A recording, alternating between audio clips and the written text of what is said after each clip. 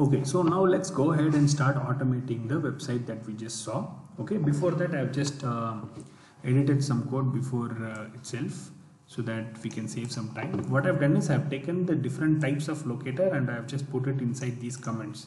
By the way, you can comment in IDE editor by using the forward slash and star and then star and forward slash. This will actually comment everything and the compiler will not take into consideration whatever you are writing into this. You can write anything and it will not throw you any errors. Okay.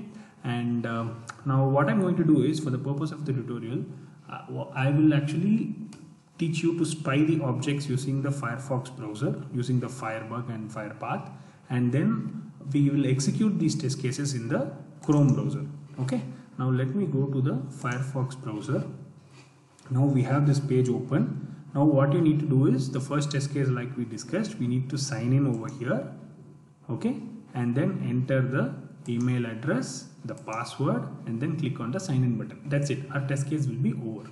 Okay? Now we need to teach Selenium to click on this sign in button. Okay? Now let us see how we will do it. Okay what you need to do first is you need to first open the Firebug console. Okay just click on this and the Firebug console will be open. Okay now what you need to do is this is this will basically show the HTML code behind this web UI okay so the developer has built this using this code. Okay and we are going to have an in-depth view of what this is. Okay you need not be um, confused by looking at this right now I'll explain it very clearly how this happens okay? Now what we need to do is we are concerned on there are n number of objects here okay? We don't need everything. We just need to concentrate right now on the sign in button sign in object correct? So what we will do is we'll just click on this. This is the inspector. Whatever you want to spy by spying I mean that you want to see the properties of that right? So when you want to spy the sign in object just go and click on the sign in object and it will highlight all the properties and attributes of that particular object in the HTML code okay? Now if you see there are many properties here. You've got a class you've got a href you've got title and uh, that's it right? Sign is the value. This is the value okay? You can if you say if you actually change the value here it will change over here also but that's something that's outside of our uh, purview right now okay? Now what we can do is first we will identify this particular object using the class okay if you remember in the in the slide I showed you I showed that there is a locator called as class name. This is what it is all about okay? The class name is login okay? I'll tell you how to do that okay? Now you have opened this website okay? Now you need to go ahead and write driver dot find you're going to find that particular element in the web browser correct?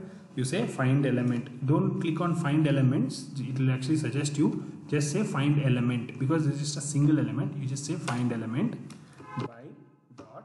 What do you want to find it by? By the class name by an id by a link by a name by a partial link text. These are all the different methods that i showed you earlier to find any object correct?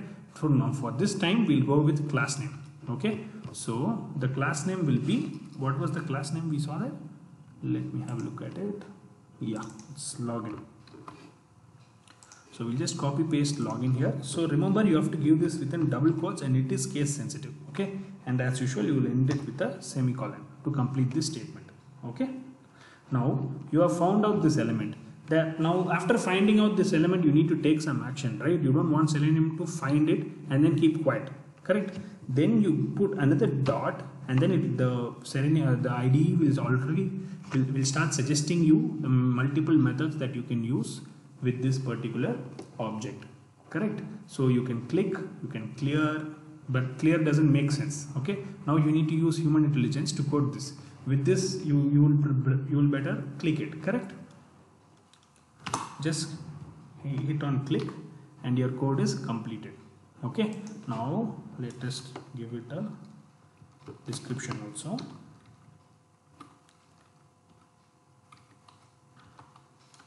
I'll say clicking on clicking on sign in object. Okay? Now after clicking in what we need to do is we'll have to find out one second where did I go? Yeah. Once you click this you have written the code already to click this okay? Now all you need to do is after you sign in you need to find out other objects over here. Now let's look at the other objects. You've got an email address you've got a password correct? Now again open the firebug okay? And click on the inspector okay? Watch this carefully okay?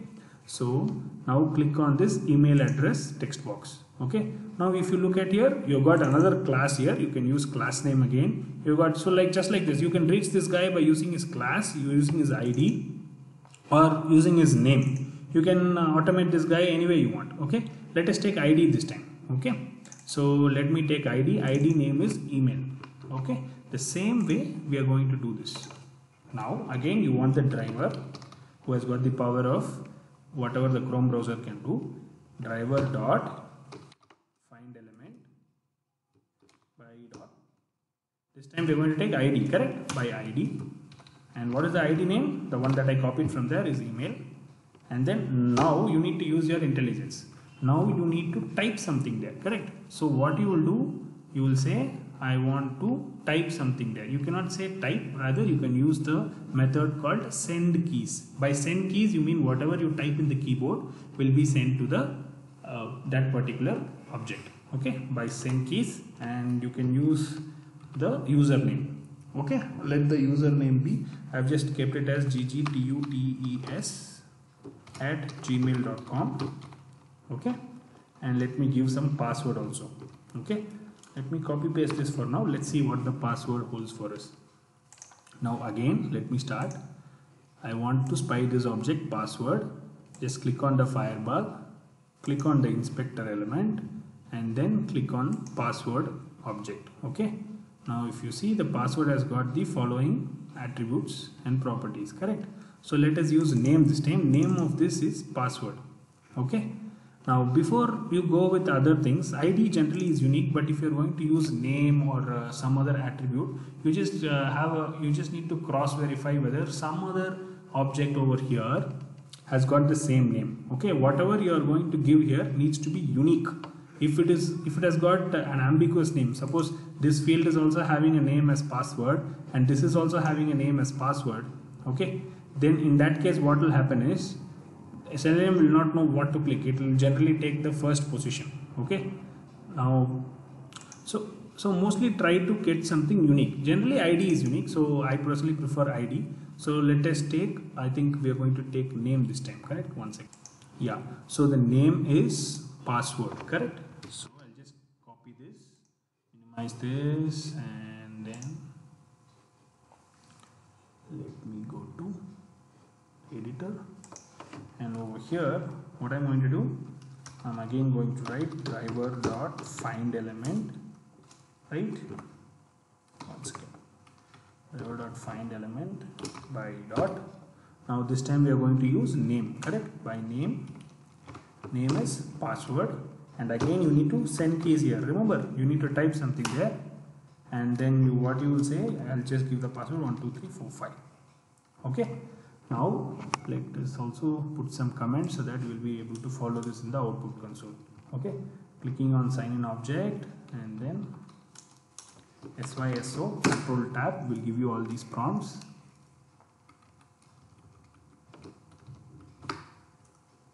And you will say entering. Entering email address. Okay. And over here you will write entering password.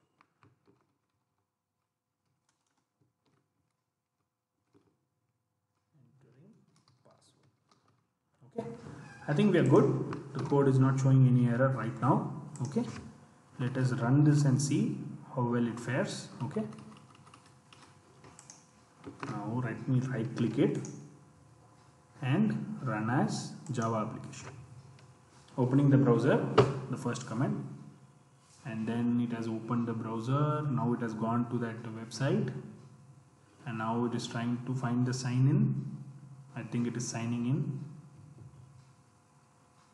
It's taking some time.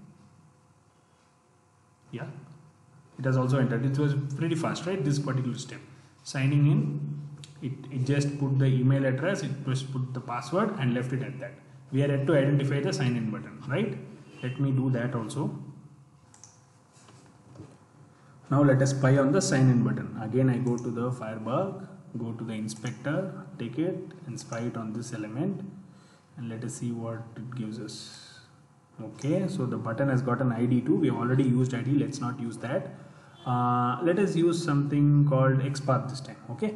You remember i use i told you to add something called as firepath this is where it comes handy okay? Now go to firepath and then now you go ahead and choose this okay? Now firepath will give us the xpath what is an xpath so basically an xpath is a very important concept. Just uh, lend some ears here.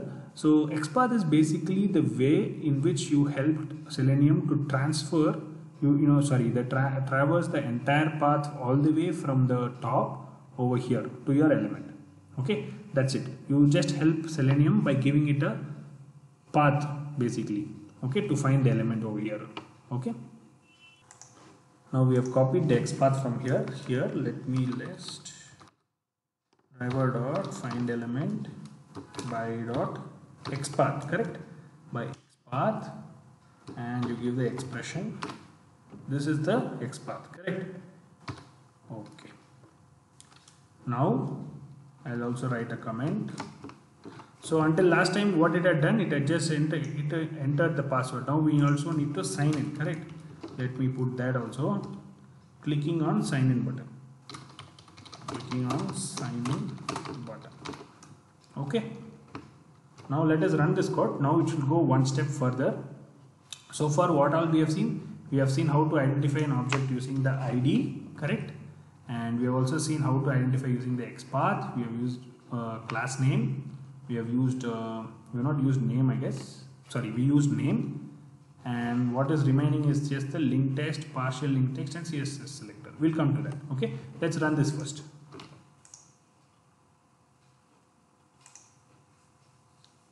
again it's opening the browser.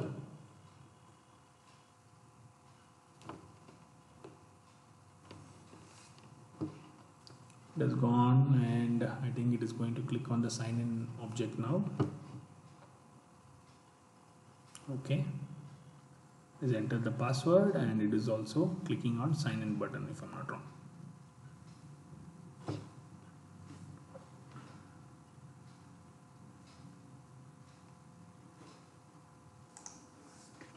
oh I'm sorry. It will not click on it because I have not given dot click over here.